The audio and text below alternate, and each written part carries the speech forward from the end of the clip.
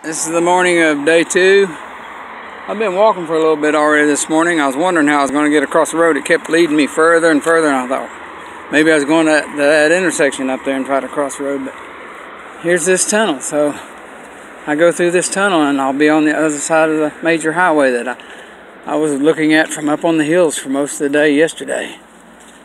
I slept in a picnic area on a picnic table last night, and young men kept coming to there in their cars and parking and playing loud music and drinking up until after midnight last night.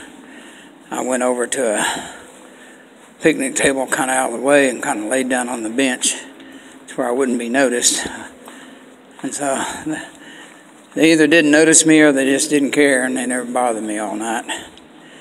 Uh, worst scare I had was two cats come running down the hill and run almost right under the table I was in. They was fighting and carrying on and screeching and they stopped at the end of my table and was fighting. And I told them to scat and they took off. Yeah, give me a scare.